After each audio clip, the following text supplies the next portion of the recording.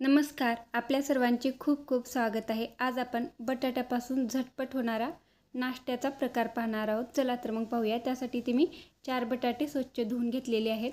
या बटाट्यावरची आपण साल काढून घेऊया.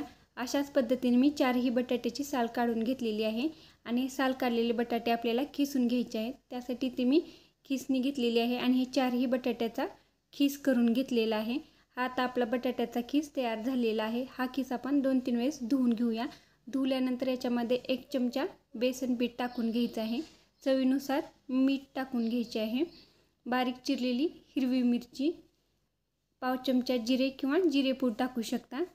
बारीक चिरलेली कोथिंबीर पाव चमचा धणे पावडर. आता हे सगळं आपण हाताने व्यवस्थित मिक्स करून घेऊया. हे आपलं बॅटर तयार झालेलं आहे. आता गॅसवर पॅन गरम करायला ठेवलेला होता. यामध्ये बटर टाकून घेऊया. बटर वितळल्यानंतर जे आपण मिश्रण बनवून घेतलेलं होतं ते मिश्रण यामध्ये टाकून घ्यायचं आहे. हाताने व्यवस्थित आपण हे सगळ्या बाजूनी गोल करून घेऊया. हाताने गोल करून झाल्यानंतर आपण उलथण्याच्या साह्याने याच्या कडासुद्धा अगदी गोल करून घ्यायचा आहे. आता याला आपण असंच एक पाच सहा मिनटं ठेवून द्यायचं आहे. पाच सहा मिनटानंतर याच्यावर आपण एक प्लेट उलटी ठेवायची आहे. आणि याला पलटून घ्यायचं आहे. अशा पद्धतीने आपण हे पलटून घेतलेलं आहे. आणि परत आपल्याला हे पॅनमध्ये टाकून घ्यायचं आहे. म्हणजे दोन्ही साईडने आपल्याला हे व्यवस्थित भाजून घ्यायचं आहे. भाजताना गॅस मात्र हा मिडियमच ठेवायचा आहे. परत याला आपण एकदा पलटून घेऊया. मी प्लेटमध्ये अशा पद्धतीने हे काढून घेतलेलं आहे. काढून घेतल्यानंतर पॅनमध्ये परत आपल्याला थोडंसं बटर टाकून घ्यायचं आहे.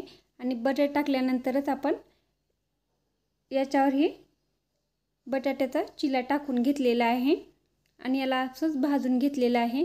आता यावर आपण थोडंसं चीज टाकून घेऊया. तुम्ही नाही टाकलं तरीही चालेल पण मुलांना चीज हे खूप आवडतं. त्यामुळे वरून मी थोडंसं चीज टाकून घेतलेलं आहे आणि झाकण ठेवून एक तीन चार मिनटं हे भाजून घेतलेलं आहे. आता तीन चार मिनटांना आपले चीज हे व्यवस्थित मेल्ट झालेलं आहे आणि हे खाण्यासाठी तयार झालेलं आहे. खूप टेस्टी मस्त लागते. मुलांना तर हे खूप आवडेल. आजची रेसिपी तुम्हाला कशी वाटली कमेंटमध्ये नक्की कळवा. आणि आवडल्यास प्लीज चॅनेलला लाईक शेअर आणि सबस्क्राईब करा.